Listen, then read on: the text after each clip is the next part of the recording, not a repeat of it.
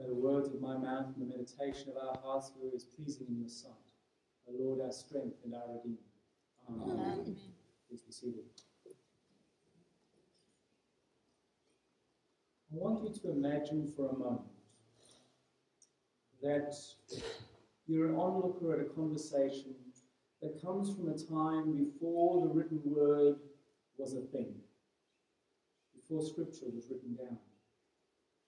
And a young boy is talking to his mother. And he says to her, Why is it that we are told to be careful of the people who live on the other side of the mountain?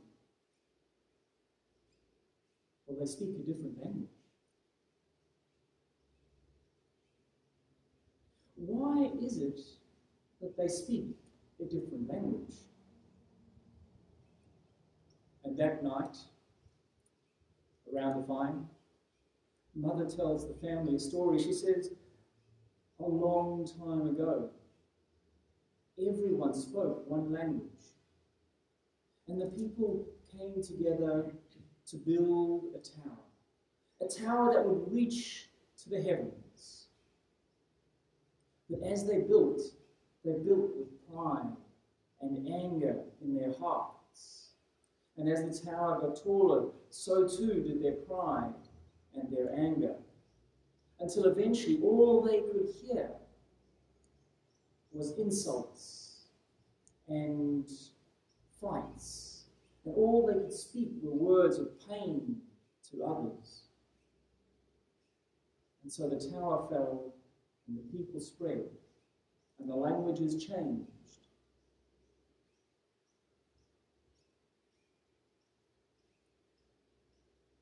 Many, many, many years later, people came and in, they spoke different languages.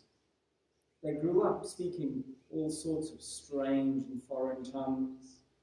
But they came to the city Jerusalem. And as they came, they all had an experience where, where some strange, odd men came out to talk to them about God. And they recognized a truth in the words that those men said. A truth that was buried so deep in their hearts it sounded like the language their mother had spoken to them as they were first learning to walk. The language of their home and the language of their heart was the language in which God had spoken to them. Now, some of those people were still afraid or prideful or arrogant, and so they went, I cannot hear that the problem must be with those men. They must have already been drinking. But others,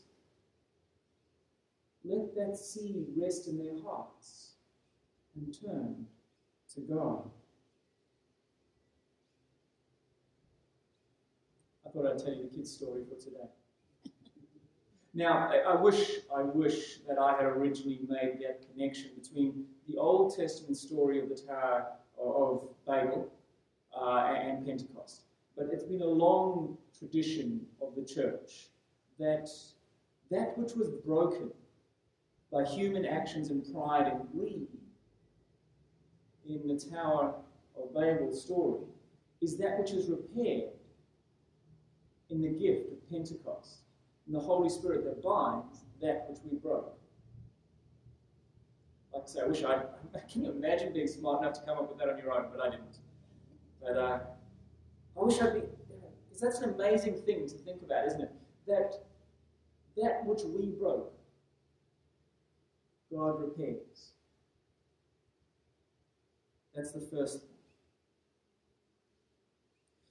The second thing I wanted to talk about is how we often react to the Holy Spirit. And I notice, I notice that there's still fear. Now, there are a couple of reasons why we might be afraid. I, I remember at um, in grade 12, I had a friend, and he was, he was a tough kid. You know, he really was. He, his goal was to be in the army because that was regi- might be regimented enough. Uh, you know, he liked the idea of running for hours with a heavy pack on him. He thought the idea of hazing rituals was a good way to build community. This kid was tough. Nice, but you know, really tough. And anyway, he goes to this church and he comes back and pale. They were weird, they were crazy. There was all this weird gibberish they were talking. And I grew up in the Anglican church and I went, it's just a liturgy. You know, we just say odd prayers. He said, no, no, man, that wasn't even English. And he'd gone to a church that had a particular expression of faith that was it had things like speaking in tongues, uh, glossolalia, uh, people being what they what the term is slain in the spirit, falling over. And he was frightened because that was very foreign. I suspect that there's an element in, in most of us that's a bit like that. We've seen some of that sort of thing. You might have seen it on TV with, with the televangelists. And it's often, when we see the worst side, associated with uh, this whole notion of send us your money and God will forgive you your sins. Or, or even better yet, send us your money and God will send you more. It worked for them. Um, and so we don't want to be, because we don't want to be associated with the worst parts of that, we're a little frightened of what might happen if we let the Holy Spirit into our lives. I think that's fair. But, but the deeper fear, the fear that's underneath the fear, is that perhaps if we let the Holy Spirit into our lives, we might be asked to see and to change. And nobody likes change. Nobody likes to change the structures in our lives. Example I heard recently was one about fashion all the time. But some people are still very much into fashion, aren't they? You can see the change underneath the change. And if we let the Holy Spirit into our lives, we're frightened that we might be asked to change the structures underneath. Because Jesus says, the Spirit will guide you into truth. And sometimes the truth says, the way you have been is not good enough.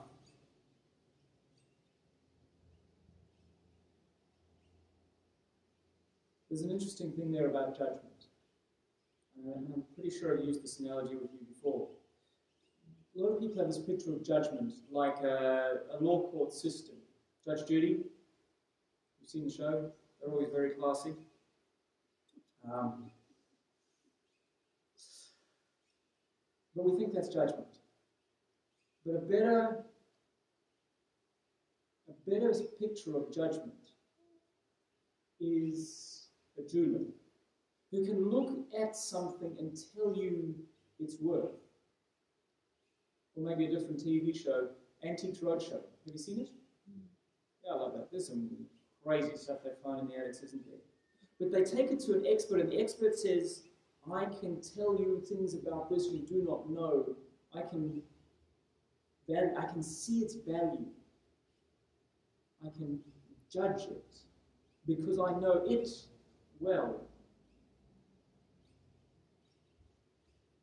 Judgment because quite often we want to put a sugar coating around stuff rather than deal with it. Quite often we want to uh, pretend the darkness in us isn't there. And if we let the Holy Spirit into our lives, that light might shine in places we don't want it to. So we're frightened. Christ says you don't need to be frightened. Not because there's no darkness in you, not because there's nothing that needs to be repaired, but because the Holy Spirit comes to repair that which we have broken. In the name of God, Father, Son, and Holy Spirit. Amen.